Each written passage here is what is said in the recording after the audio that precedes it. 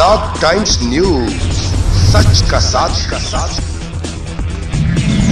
जहाँ खबरों का सिलसिला चलता ही रहेगा। नमस्कार डाक टाइम्स न्यूज़ सच का साथी में आपका स्वागत है। मैं हूँ आपके साथ आर के त्रिपाठी, यूपी के जनपद रायबरेली, के अटौरा बुज़ुर्ग में 21 जून को विश्व योग दिवस के मौके पर तिरुपति बालाजी पब्लिक स्कूल में प्रधानाचार्य नेहा सिंह के नेतृत्व में शिक्षकों ने योगा किया। इस दौरान प्रिंसिपल नेहा सिंह ने कहा कि योगा हमारी संस्कृति के साथ जुड़ा हुआ है। चिकित्सा पद्धति है योगा, जिसे प्रधानमंत्री मोदी ने अथक प्रयास से विश्व समुदाय में पहुँचाया है। आज हिंदुस्तान में योग की शक्तियों को भूल गया है। परंतु विश्व आज भी हमारे योग को अपनाकर तमाम बीमारियों से बचाव कर रहा है और हम दवाओं के भरोसे चलने का प्रयास कर रहे हैं। उन्होंने कहा कि आज पाँचवा विश्व योग दिवस है और केवल योग दिवस पर ही नहीं, बल्कि प्रत्येक दिन प्रत्येक मनुष्य को योगा करना चाहिए। इसमें उम्र से कोई सरोकार नहीं होता है।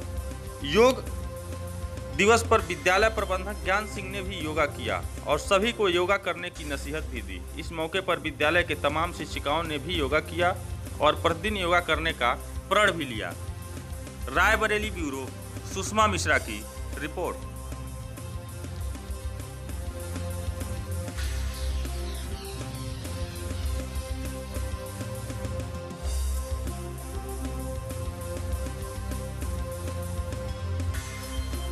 बताएँगे कि आज कौन सा अंतर्राष्ट्रीय योग दिवस? जी आज पांचवा अंतर्राष्ट्रीय योग दिवस मनाया जा रहा है।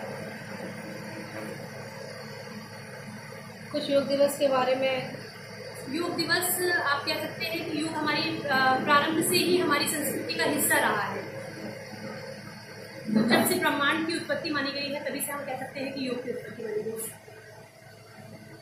इस बार योग दिवस का मुख्य विषय क्या रहा है? हृदय के लिए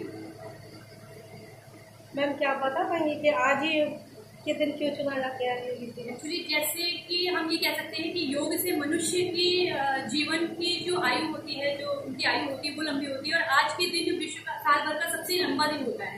तो इसीलिए आज ही के दिन को चुना गया है कि योग दिवस के लिए डॉग टाइम्स न्यूज़ सच का साथ का साथ। जहाँ खबरों का सिलसिला चलता ही रहेगा।